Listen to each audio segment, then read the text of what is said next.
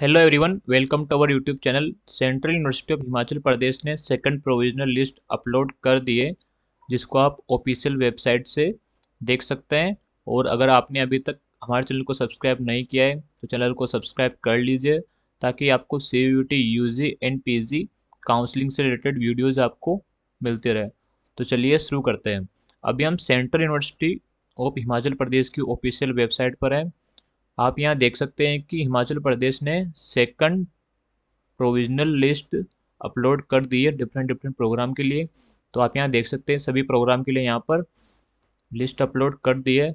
तो जो भी यहाँ पर आप जिस भी कोर्सेज के लिए आपने यहाँ पर अप्लाई किया है, आप उस पर क्लिक करके अपना नाम देख सकते हैं। तो चलिए हम यहाँ पर provisional second section list for MSc physics पे क्लिक करते हैं। इस पर क्लिक करने के बाद आप यहाँ देख सकते हैं प्रोविजनल सेकंड सिलेक्शन लिस्ट तो यहाँ पर कुछ इंस्ट्रक्शंस लिखे हुए हैं। आप इन सबको अच्छे से पढ़ लीजिए।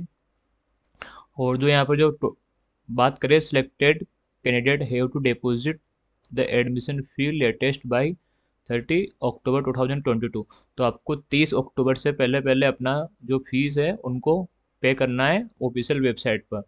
वो आप देख सकते हैं। और अगर आप ऐसा कर, नहीं करते आप अपना जो भी सीट है आपका उसकी भी पे, पेमेंट नहीं करते हैं तो जो वैकेंट सीट होगी वो किसी दूसरे वेटिंग लिस्ट वाले कैंडिडेट को अलॉट हो जाएगी। तो आपको अगर एडमिशन लेना है तो आपको थर्टी अक्टूबर तक फ़ी पेमेंट करके अपनी सीट सिक्योर करनी है। और जो एमएससी फिजिक्स की बात करें तो यहाँ पर जो फ़ी रहने वाली है, वो thirteen thousand eight hundred fifty rupees रहने वाली है। और जो सेल्फ फाइनेंसिंग स्टूडेंट है, उनके लिए फिफ्टी वन थाउज़ेंड रहने वाली है। जो ऑप्शन है एडमिशन फ़ी को पेमेंट करने का, वो ट्वेंटी सेवन अक्टूबर से थर्टी अक्टूबर तक है। तो आप ट्वेंटी सेवन अक्टूबर से थर्टी अक्टूबर तक आप यहाँ पर फ़ी पेमेंट कर सकते हैं। आप फ़ी पेमेंट किस तरीके से कर सकते हैं? The link of making payment for the admission cell भी available in the dashboard of its applicant तो जहाँ से आपने यहाँ पर रजिस्ट्रेशन के लिए अप्लाई किया था, उसी डैशबोर्ड में आपको अपनी लॉगिन डिटेल्स फिल करके लॉगिन कर लेना है तो वहाँ आपको जो जो फ़ी पेमेंट का आपको वहाँ पर ऑप्शन मिल जाएगा। The proof of confirmation of fee submission received from Samarth portal payment gateway should be sent to department at email. तो जो आप पेमेंट करने के बाद जो आपको रिसिप्ट मिलेगी, जो आपको गेटवे मिलेगा, उसको आप पर जो यहाँ पर जो ईमेल आईडी दी हुई है, Rohit Dhiman four two two at the rate H P C U dot A C dot in इस पर आपको ईमेल करना है बाई थर्टी अक्टूबर तो आप जब भी ट्वेंटी सेवन और थर्टी के बीच जब भी आप फ़ी पेमेंट करें तो आपको उसी टाइम पे या उससे या तीस अक्टूबर से पहले आपको जो फ़ी रिसिप्ट है, वो आपको इस ईमेल आईडी पे सेंड करने। ये ईमेल आईडी केवल फिजिक्स स्टूडेंट के लिए एमएससी फिजिक्स स्टूडेंट के लिए तो एम फिजिक्स स्टूडेंट के लिए इस ईमेल आईडी पे करना है।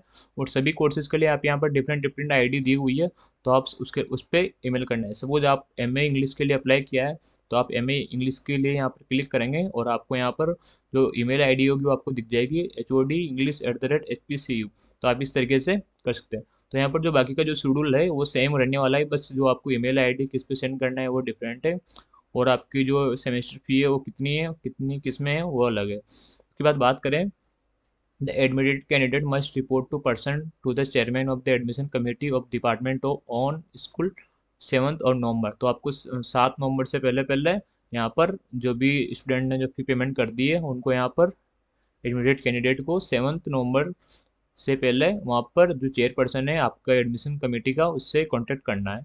और जो वेरिफिकेशन करना है, जो भी क्वालिफिकेशन डॉक्यूमेंट्स है उनका।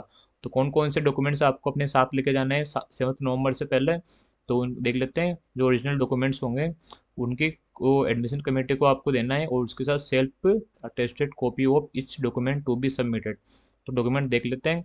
Marksheet of matriculation ten plus two and graduation तो आपको तीनों की मार्कशीट लेके जाना है।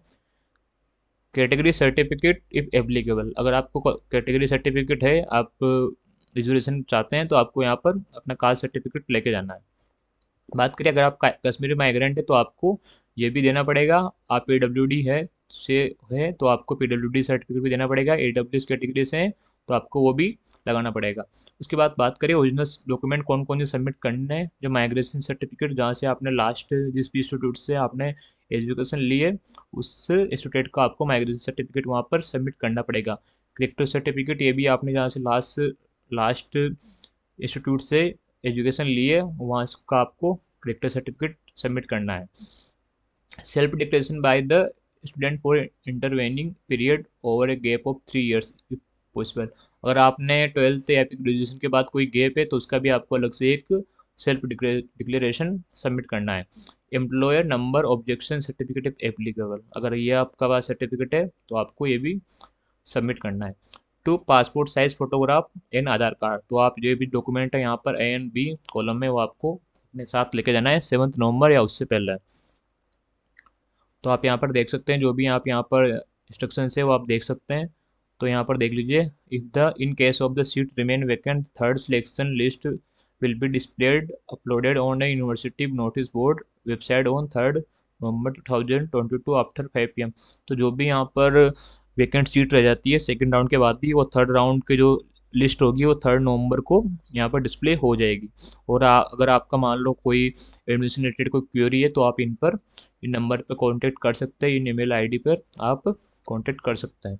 तो जो भी यहाँ पर बात करें तो जो भी यहाँ पर बात करें हम एमए इंग्लिश की तो एमए इंग्लिश में जो सिलेक्टेड कैंडिडेट है वो आप देख सकते हैं जो ओपन कैंडिडेट है उनका नाम दिया हुआ है in OBC category in S C category S T W S and waiting list तो आप जिन भी स्टूडेंट का यहाँ पर सिलेक्शन लिस्ट है, उसको पे उसको पेमेंट करके सेवन्थ नवंबर या उससे पहले रिपोर्टिंग करनी है विद रिक्वायर्ड डॉक्यूमेंट्स तो आप इस तरीके से देख सकते हैं।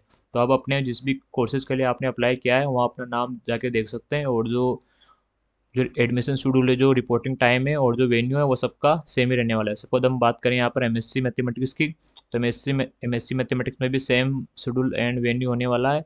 वही ट्वेंटी सेवन टू थर्टी के बीच आपको फ़ी पेमेंट फ़ी पेमेंट करना है और सेवन्थ नवंबर तक आपको यहाँ पर जो आपका एडमिशन कमेटी का चेयरपर्सन है, उससे आपको कॉन्टेक्ट करना है फिजिकली और जो भी आपको यहाँ पर जो फ़ी रिसिप्ट मिलेगी, उसको आपको यहाँ पर ईमेल करना है और जो रिक्वायर्ड डॉक्यूमेंट्स है, वो आपको अपने साथ लेके जाना है और जो सेवन्थ नवंबर है, या उससे पहले आपको चेयरपर्सन से कॉन्टेक्ट करना है और अगर आपको कोई डाउट है तो आप इन नंबर से कांटेक्ट कर सकते हैं। तो यहाँ पर भी same M S C mathematics की जो ओपन कैटेगरी में जिनका एडमिशन हुआ है, उनकी लिस्ट दी हुई है। उसके बाद S T category O B C category E W S and waiting list तो जिन भी स्टूडेंट का यहाँ इन कैटेगरीज में नाम है, वो अपना फ़ी पेमेंट करके अपनी फ़ी जो भी रिसिप्ट मिलेगी आपको ऑनलाइन वो आपको गिवन ईमेल एड्रेस पे सेंड करके सेवन या सेवन से पहले जो भी आपका एडमिशन कमेटी का चेयरपर्सन है, उससे आपको कांटेक्ट कर लेना है और अपना जो भी एडमिशन है वो आपको सिक्योर कर लेना है। तो चलिए, आपको आई होप आपको ये वीडियो इन्फॉर्मेटिव लगी होगी और आपको जो भी इन्फॉर्मेशन कोई बाकी इन्फॉर्मेशन चाहिए, इस यूनिवर्सिटी से रिलेटेड और एडमिशन से रिलेटेड तो आप कमेंट बॉक्स में कमेंट करके पूछ सकते हैं। चलिए, तब तक के लिए बेस्ट ऑफ़ लक